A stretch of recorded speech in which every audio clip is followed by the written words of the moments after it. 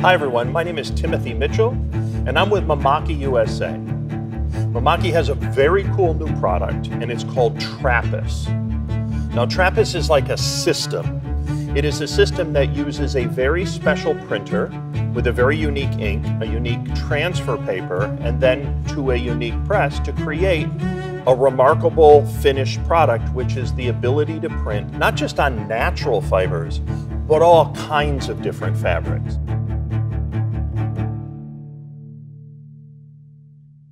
This is my friend John Ginsler from LA Print Labs. You know, you're like what a fourth generation in the printing business, and you own a TRAPIS process. Yes. You know, what attracted you to TRAPIS as a solution to what you do? Well, we did mostly uh, sublimation previously, which works only on polyester, and we had a direct pigment that only worked for cotton. And we wanted to be able to do all the other different types of fabrics. That's what our customers wanted. And previous to TRAPIS, there would, you need a different, complicated, multi-step setup Sure. for each type of fabric. One for nylon, one for rayon. It was slow and expensive, labor-intensive, water-intensive. So none of those really worked out until with TRAPIS, it gets rid of a lot of the steps, pre-treatment of post-treatment, Right. Um, and it works on a very wide range of materials, all in the one system. It seems like you've taken decor and gone in every other direction. Like you're doing custom fashion, you're doing visual, you're doing uh, decor, obviously. G- give me some examples, because I know you were saying you were doing nylons, you were doing specialty fabrics, you're doing custom prototype clothing. Yes. So the, the TRAPIS does work, uh, you know, works on, on nylon and the color, and, and it has the color range of a wet print or direct print and the light fastness. So we were able, we're able to provide that with a fast turnaround and low minimums. Would you say that one of the big advantages of this approach is your turnaround times are quick? Uh, Certainly quicker than ordering overseas and waiting potentially months. The turnaround time is key, and the the minimum amounts are key. A lot of my customers are, you know, they're they're being very responsive to trends. They want to take something from concept to market in 30 days, 45 days, and you're not going to be able to do that by getting something printed overseas. With TRAPIS, it makes sense. How do you like the color? It's great. It's an eight color system. It's it's CMYK. It's regular four color process plus additional colors. The color profile of the printer has really been optimized to get all of the ink onto the fabric. When you look at the at the transfer on the TRAPIS, there's no ink left on the paper, so you know it's all on the fabric. Plus the the extra color range provided by the extra colors. It's it's as good as Okay. as as direct or wet print. Additionally, the the sharpness of the image, it's not only the color, but it's an additional level of detail that you sometimes can't get with with previous direct. One of the things I've experienced with direct printing is I, I always feel like I'm very limited by the number of fabrics that will work in the direct printing environment because in a direct print, the printer does all the magic and prints to the fabric.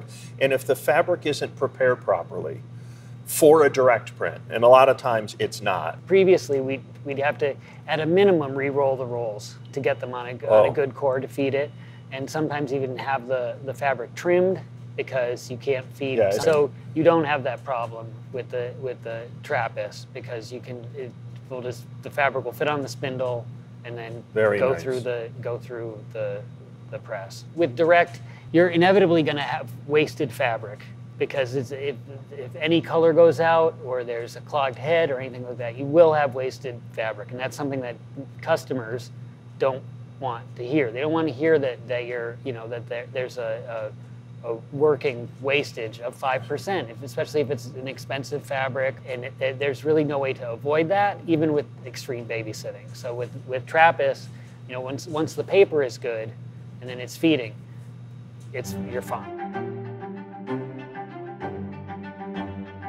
You mentioned speed, and that's something obviously production matters. Uh, one of the things I have noticed is the production speed using a transfer TRAPIS system versus a direct print system. Even with Mimaki's own printers, the TRAPIS system is faster. It is. Um, it's, I mean, depending on which which system you're comparing it to, it is it is faster. You know, I could go down to like a fabric store, you know, Joann Fabrics or Michaels, and find fabric, and theoretically, there's a good chance this would be able to actually transfer it.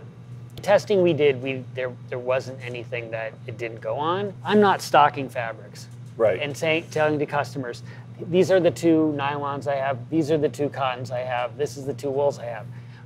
My customers bring me their fabric. We actually don't uh, supply any fabrics. We don't stock any fabric. Could you say that again? You don't stock any fabrics. Yeah, we don't. Do you know what a huge advantage that is? It is because if you if you then I, if you're stocking fabrics, either you're limiting your customer's choice. Yep. Most of my customers are already have a fabric that they want to use before they get to printing. Sure. Or they have particular, you know, things about a fabric that they want to use. If I have to stock the fabrics, you end up with a lot of leftover fabrics, a lot of wasted fabrics, a lot of storage Sure. space. I do. I know a lot of the suppliers in town. I know where to get different things if they don't know where to get it, um, and so then that's that. The ability of TRAPIS to work on such a wide variety of fabrics Yeah. and different blends and and different thicknesses uh, really enables that to uh, give those customers you know, what they want on their fabric. In a previous model, say for nylon or rayon, even just for a sample for a customer fabric, you would have to coat it, let the coating dry, Right. test print it, do the steaming, and, and then you're done. Just to see, just for a, just for a sample. You know, with with the TRAPIS, you don't because because the the coating step is eliminated from by the paper. Correct. You can just run it run a test, and if you need to adjust it, you can do the adjust. So I'm going to make a little sidebar on the coating. Yeah. So when you say coating, my recollection is if you have fabric that has to be specially treated or coated in order to be direct receptive, you either have to buy it that way, now you have a very limited selection, or you have to do it yourself, or you have to send it somewhere. And then that would be like, I got to pay for shipping, I got to wait a week, I got a week coming back, and then I have the cost of doing it, and then they might say, look, it's three weeks. Yeah. You know, so I'm like, it's a month and a half just to get it ready. Right. And then the cost of all that. And- you've eliminated all that completely. And on Gone. top on top of that, the the wet chemicals for the coating have um, a shelf life. ah, also. So you have to keep track of when you mixed it, how long it's been, you know, how long it's been out. So there's a waste there. You need a coating machine, which again, so that's when when you're comparing the speed of the TRAPIS versus the previous direct methods. With TRAPIS, with the coating being on the paper, you're only using what you need when you need it. previous direct methods, besides the, the pre-treatment and then the, the direct printing, which as I said before, you, you- sometimes not even all the ink gets goes on the fabric. Right. So it's a big waste. And then you have to steam it afterwards, which is a big water use, a big power use. And then even after that, there's a drying process, or if the if you have to refa- reframe the fabric, like there's so many additional steps, gonna replace huge parts of any of the previous direct. When you were on your journey to find a direct printing solution, you did find a direct printing solution initially.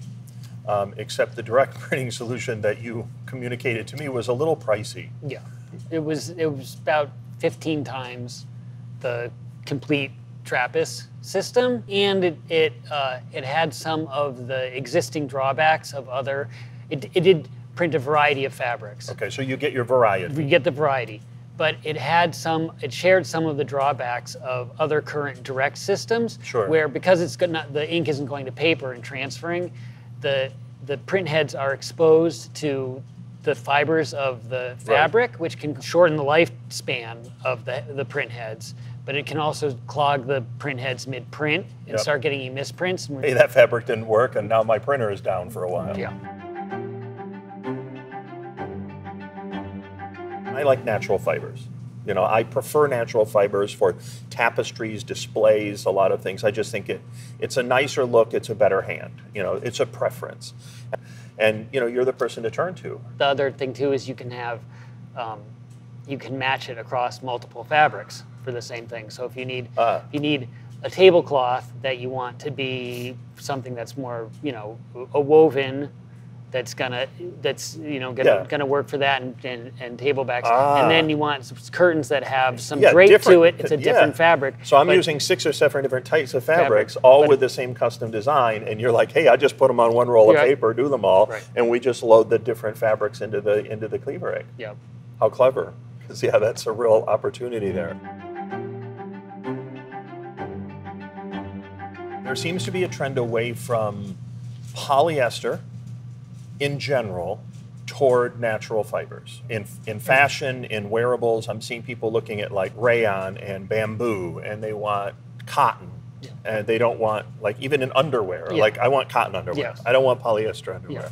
Are you noticed that too? I have. I mean, it's there's there's a lot a big drive for natural fibers Okay. and for cotton and for organic fibers. And there's there's no such thing as organic polyester, uh, and that's something that again people expect that it can be printed. they don't know the technical aspects of it. Sure. So they, they when you say you can't, you know, there's there's disappointment there or whatever. And it's it's a trend. It's a, and it's a trend in in, all all types of fashion, and in, especially for um, kids clothing, for bedding. Sublimation really can't print on it.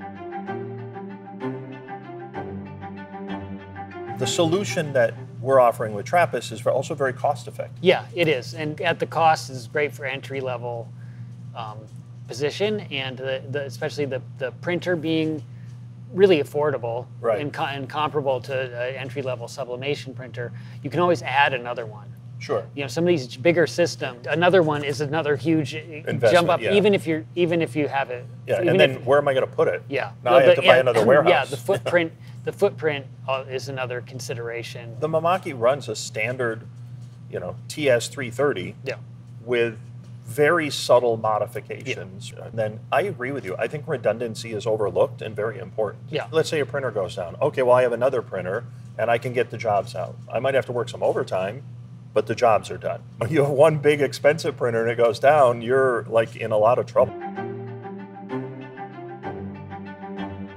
The calender press is special because it has extra pressure. Do you use it for standard sublimation also? i don't but you can there is still a place for dye sublimation on polyester Oh, no question. So if you wanted to, to have a press that would work for both, then you could have this one Sure. one press and have a sublimation printer and have the, the TRAPIS printer, and you'd still be at a really low Right. po- uh, point of entry. This is a press that was made for, it could be used for sublimation, and they, it was additional things were, were added. Right. So you could it, it wasn't that it's stripped of anything. For me, one of the limitations, and I, and I do a lot of dye sublimation and very involved in it, um, one of the limitations is its color fastness versus a pigment based system is going to have much better color fastness. So let's say we've made two upholstered chairs. And the two upholstered chairs, one was done with polyester on dye sublimation and one was done through a TRAPIS and pigment. If those chairs sit in direct sunlight, the TRAPIS is going to last a lot better for color fastness Yes. than the sublimation would. Yes, sublim not only for you know upholstery, but also for you know swimwear and athletic wear, things like that that are going to be exposed to you know sunlight, heat, and everything. TRAPIS inks are bluesign certified, which is a, a third party that certifies the non-toxicity of the inks. They're ma- manufactured under humane conditions. Because if you have a customer that wants to print on certified organic cotton, they probably don't want you using harsh chemicals. California does have the highest standards in the nation as far as that stuff goes, and this obviously meets it. the environmental, sustainable, if you will, green uh, messaging around TRAPIS is significant. Yeah. Both for its ability to print all kinds of natural fibers, to all of the certifications it meets, to the fact that it's self-contained in one spot. You really don't have the type of waste that you have associated with a lot Yeah. of other large run direct wet printing. Yeah. Often that's all done offshore. Yeah. You know, some someplace else. the individual company could be great, but then the, the infrastructure of where that is to get rid of the waste ink doesn't It even doesn't doesn't even exist. exist. Yeah, correct. Even like with my dye sublimation paper now, I have someone who takes that and recycles it. So Really? yeah, it gets a second use at, at cutting houses as layering, Okay. Or some might you know the, the or goes to, to packing, or it goes to get recycled. Well, I really appreciate your time here this afternoon. Um, I've learned a great deal. I think you're a pioneer. Yeah, I mean, really, you're a fourth generation printer, and now you're going like in a completely like you're literally taking the covered wagon, just driving out Yeah, the wilderness, yeah. and saying, "I'm going to do a whole different direction in digital printing." And we we're so happy to have you as an important client and um, I think a partner Yeah. of Mimaki. Well, thank so you. thank you very Thank much. you Thank very you very much. much, John. Yeah.